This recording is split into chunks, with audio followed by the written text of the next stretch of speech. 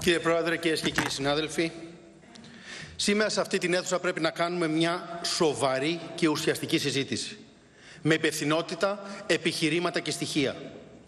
Γιατί ό,τι θα πούμε σήμερα αφορά όλους τους Έλληνες. Και τους συνταξιούχους, και τους εργαζόμενους, και τους άνεργους, αλλά κυρίως και τα νέα τα παιδιά, που θέλουν να είναι οι εργαζόμενοι και οι συνταξιούχοι του αύριο. Και περιμένω κύριε Υφυπουργέ να δείξετε υπευθυνότητα αυτή την ίστατη στιγμή και να δώσετε ουσιαστικές απαντήσεις. Δεν θα επαναλάβω τις άστοχες αντιπολιτευτικές και προεκλογικές κορώνες του Πρωθυπουργού του κ. Τσίπρα όταν υποσχόταν καμία μείωση συντάξεων και σεβασμό σε όρημα συνταξιωτικά δικαιώματα. Θα σας θυμίσω όμως ότι το περίφημο email Χαρδούβελη μιλούσε για 310 εκατομμύρια νέα μέτρα στο εξωτικό και εσείς τελικά φέρατε 3,6 δισεκατομμύρια, πάνω από 10 φορές περισσότερα μέτρα.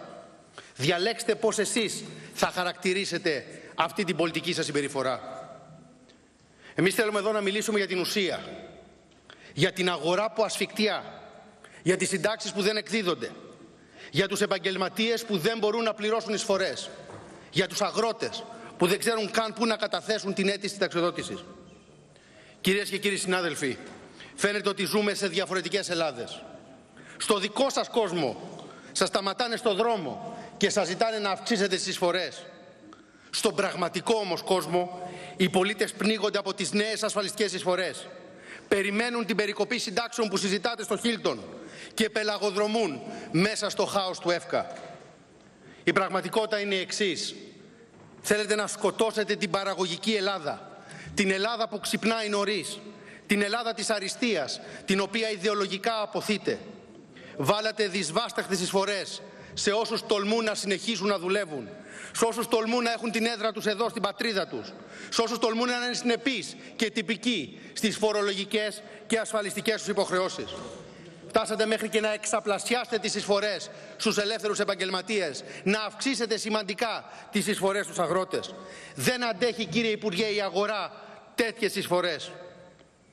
Και βέβαια το ασφαλιστικό του ΣΥΡΙΖΑ, τον ΑΝΕΛ, το ασφαλιστικό Κατρούγκαλου, είναι ο προάγγελος μεγάλων περικοπών στις κύριες συντάξεις, με τη θεσμοθέτηση της προσωπικής διαφοράς. Κόβεται τη συντάξη σε δύο στάδια. Στο πρώτο ορίζεται την προσωπική διαφορά και στο δεύτερο στάδιο, σε λίγους μήνες, θα μας πείτε εσείς πότε, θα βάλετε αυτή την προσωπική διαφορά στον προκρούστη της διαπραγμάτευσης με τους θεσμούς. Βέβαια ήδη κόβεται τις συντάξεις για τους νέους συνταξιούχους, όπου ε, εφαρμόζεται η μειωμένη σύνταξη χωρίς την προσωπική διαφορά. Και σύντομα λοιπόν και για τις υπάρχοντες συντάξεις. Το μόνο που απομένει να μάθουμε είναι το χρόνο και το ύψος αυτών των νέων περικοπών. Γιατί εσείς λέγατε, το θυμίζω, μην ανησυχείτε οι παλιοί συνταξιούχοι, δεν θα έχετε καμία μείωση. Μην ανησυχείτε οι νέοι συνταξιούχοι, θα έχετε κάποιες προσωρινές μειώσεις και μετά το 2018 μαζί με την ανάπτυξη που έχει παρκάρει στη γωνία και έρχεται θα έχετε και αυξήσεις. Και τώρα βέβαια βλέπουμε την πραγματικότητα. Και επειδή χθες κύριε Υφυπουργέ με κατηγορήσατε ότι δεν έχω διαβάσει τον νόμο, εσείς που τον έχετε διαβάσει, θέλω να μου πείτε σήμερα συγκεκριμένα με ποιο τρόπο, με ποιο συντελεστή θα επαναυπολογίσετε τις παλιές συντάξεις. Συγκεκριμένα με το δίκτυ τιμών καταναλωτή που θεσμοθετήσατε χτες με τροπολογία 20 μήνες μετά που ασχολείστε με το ασφαλιστικό ή με κάτι άλλο που δεν προβλέπετε στον νόμο. Και αναλόγως θα σας απαντήσω πολύ συγκεκριμένα στη δευτερολογία μου. Εν τω μεταξύ όμως πρέπει να τονίσω ότι δεν υπάρχει καμία πρόοδος στην έκδοση νέων συντάξεων παρά τα, τις περί αντιθέτου δεσμεύσεις σας. Χτες καταθέσατε το σωστό δίκτυ γιατί δεν είχατε καταλάβει εδώ και δύο χρόνια ότι ο βασικός σας δείκτης δεν υπάρχει. Γιατί όπως είπα χτες το νομοσχέδιο γράφτηκε στο γόνατο.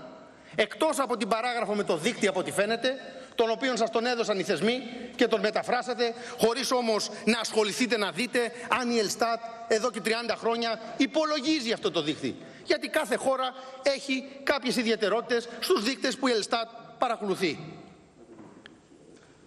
Μόνο ξέρατε χτες να μας πείτε το, εξε, το εξής απίστευτο, ότι λέει αντιπολίτευση, η, η Νέα Δημοκρατία από τη μεταπολίτευση και μετά δεν μπόρεσε να φανταστεί ότι ο κύριος Κατρούγκαλος θα ονειρευόταν ένα νέο δίκτυο το 2016 να τον προετοιμάσουμε 30 χρόνια πριν.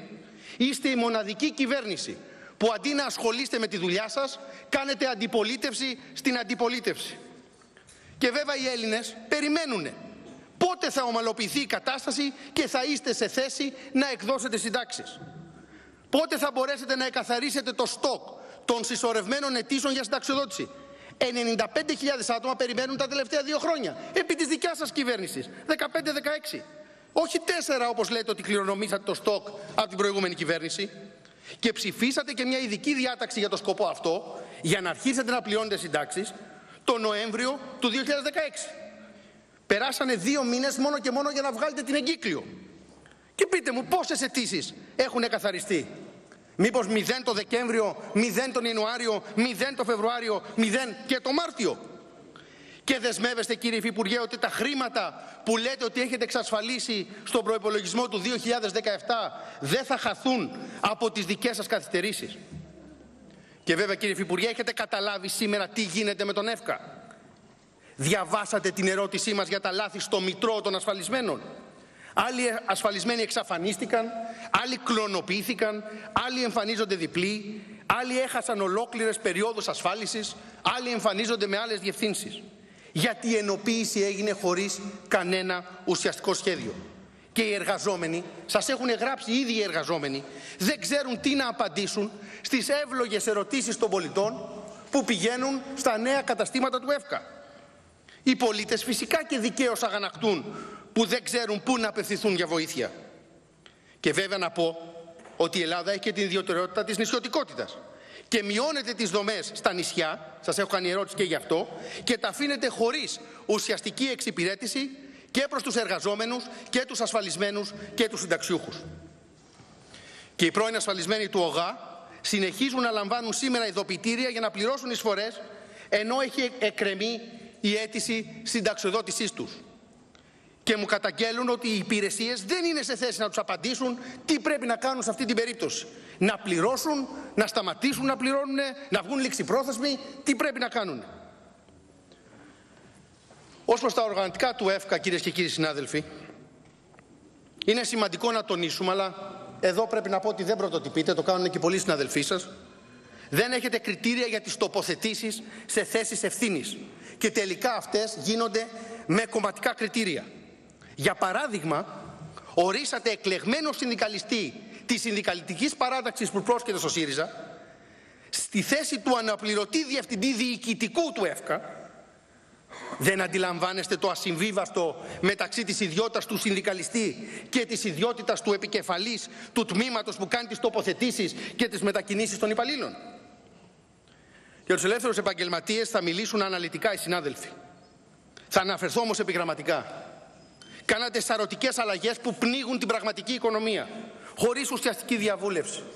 Έχετε δημιουργήσει ένα πραγματικό αλαλούμ, με νόμους και εγκύκλιους πρόχειρα γραμμένες, με ιδιοποιητήρια με λάθη. Και φυσικά ειδική αναφορά πρέπει να κάνω και στο περίφημο θέμα με τα μπλοκάκια, που ακόμα δεν έχετε βρει μια πραγματική λύση γιατί αν περιμένετε ότι στην αγαρά εργασίας θα πηγαίνουν στην επιθεώρηση όλοι για να κρίνει η επιθεώρηση για κάθε εργαζόμενο αν εργάζεται με το ένα καθεστώς ή με το άλλο, νομίζω αυτό δεν συνάδει με την πραγματικότητα που υπάρχει στους χώρους εργασίας. Και βέβαια λέτε σε κάποιους ασφαλισμένους ότι πληρώνουν λιγότερες εισφορές. Βέβαια δεν τους έχετε πει και τι συντάξεις αυτοί οι άνθρωποι θα περιμένουν όταν τελειώσουν τον εργασιακό τους βίο. Κυρίες και κύριοι συνάδελφοι, η κυβέρνηση κατάφερε πράγματι πολλά με το νέο ασφαλιστικό. Κατάφερε και να αυξήσει τις εισφορές και να μειώσει τις συντάξεις, αλλά και να κατακριμνήσει τα έσοδα του ΕΦΚΑ.